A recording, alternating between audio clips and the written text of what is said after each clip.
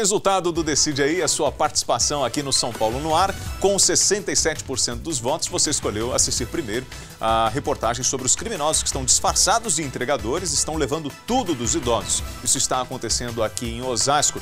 Ele, ele, na verdade, ele chega em casa quando é cercado pelos bandidos. É a história de um dos idosos que você acompanha nas câmeras de segurança.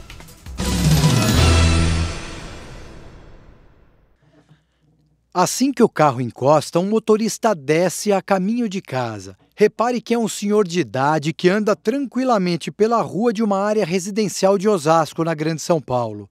Uma moto em alta velocidade passa por ele, mas volta em seguida e o piloto anuncia o assalto.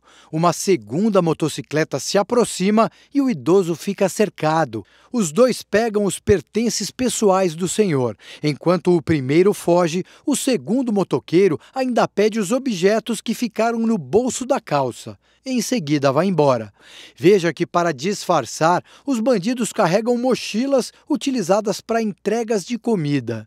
Os criminosos levaram tudo o que puderam sem descer das motos. O flagrante do assalto foi gravado pelo sistema de monitoramento da Associação de Moradores do Jardim das Flores, em Osasco. Os mesmos motoqueiros são suspeitos de cometerem outro assalto nessa mesma rua, o que anda tirando o sossego de moradores, principalmente dos idosos. Eu saio duas vezes cachorro de manhã e à tarde, à noite não sai. Esse tipo de crime já é motivo de reclamações por essa região há muitos meses, conta o presidente do Conselho de Segurança. Toda a região aqui hoje está tá à mercê desses bandidos, em especial até o idoso, né? Porque o idoso ele tem mais dificuldade de, de, de sair, de correr, né? Todo dia a gente sabe que tem uma vítima, as pessoas nos procuram para denunciar. Os relatos de roubo são frequentes por aqui. Pedestres e até mesmo grupos se sentem ameaçados, principalmente pelas ações rápidas de criminosos que usam motocicletas para fugir.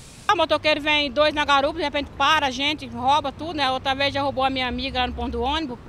Ela tá no ponto do ônibus, parou e pegou o celular dela e foi embora. Esse tipo de ação criminosa não se limita ao bairro onde foi registrado o flagrante, de acordo com Oswaldo. Atinge quase toda a cidade de Osasco. Nós temos duas grandes empresas aqui, aliás, novas empresas que chegaram ao bairro recentemente e muitos funcionários, uma com 2.500 funcionários, outra com 3.000.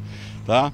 E no horário de, de saída desse pessoal, a gente percebe que é, é, que, que, o povo já está com medo. Eles saem todos praticamente juntos para circular junto para não ser vítima. O jeito é apertar o passo para tentar reduzir o risco. Ah, eu passo com medo olhando para os lados, né? É bem difícil. Apressado?